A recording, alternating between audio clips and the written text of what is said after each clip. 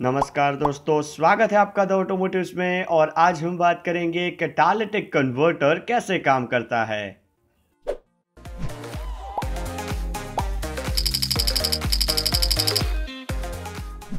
तो आज इस वीडियो में हम देखेंगे कि कैटालिटिक कन्वर्टर को क्यों लगाया जाता है, उसका काम क्या है, उसे कहाँ पर लगाया जाता है, उसका कंस्ट्रक्शन किस तरह का है और वो काम कैसे करता है।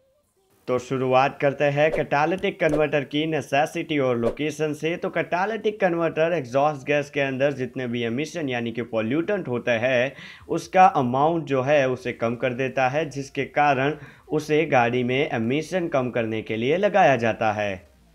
तो अब बात करते हैं लोकेशन की। तो कैटालिटिक कन्वर्टर इंजन के एग्जॉस्ट मैनिफोल्ड के बिल्कुल बाद में ही लगाया जाता है। यानी कि ऐसा कह सकते हैं कि इंजन और मोफलर के बीच में लगाया जाता है कैटालिटिक कन्वर्टर तो बात करते हैं कैटालिटिक कन्वर्टर के कंस्ट्रक्शन की। तो एक मेन फ्रेम के अंदर सबसे पहले प्लेटिनियम या फिर पैलेडियम का एक कैटालिस रखा जाता है। इस ऑक्सीडेशन कैटालिस कहा जाता है क्योंकि ये एग्जॉस्ट गैस के अलग अलग जो भी एमिशन है, उनके बीच ऑक्सीडेशन की जो प्रोसेस है, उसे पॉसिबल बनाता है।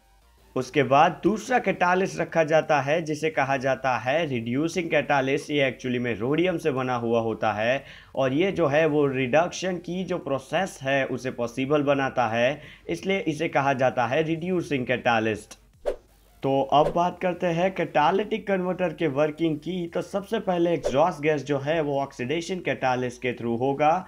तो उस सिचुएशन में जो एग्जॉस्ट गैस है, उसके अंदर mainly hydrocarbon carbon oxide oxygen और नाइट्रोजन ऑक्साइड के पार्टिकल्स होंगे।